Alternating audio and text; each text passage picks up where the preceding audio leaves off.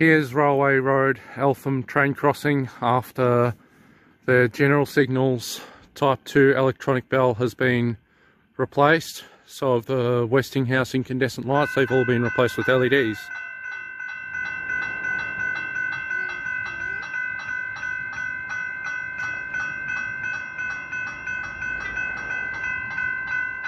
Here comes the train now.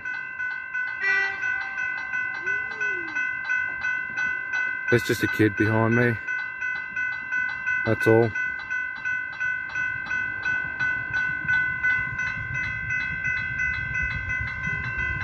This is an X'Trapolis train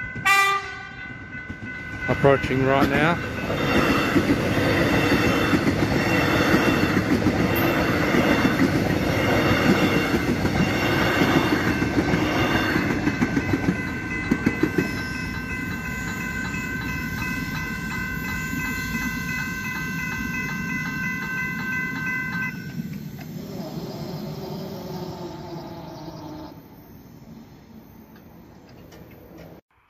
Here on this side we have a Western Cullen Hayes gate mechanism. This replaced the Westinghouse gate mechanism that was originally here. Up here there's Westinghouse LED lights. General signals type 1 adjusted E-bell is still there. We've got new wishbone gates and the old stop on red signals are still here as with the Westinghouse base. Over here, the McKenzie and Holland lights that were incandescent got replaced with Westinghouse LED lights, or Siemens, as they are made by. This base is made by McKenzie and Holland, I believe. Doesn't have any brandings on it. There we go, there's the best shot of the brand. So these lights have been replaced as well.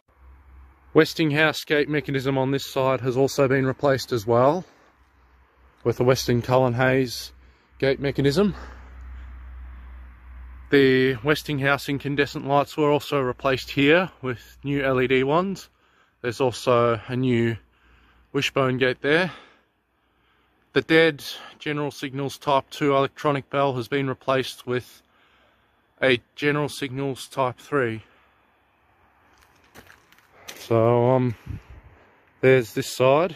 While I'm at it, we might as well go for a spin around the terminal boxes slash switch boxes. As you can see, they're all the same. Been painted over like a million times as a result of graffiti. Um, you can see people have been putting stickers on them. Some of the numbers. If anybody would be curious. Some more stuff here. There's the test switch on the side.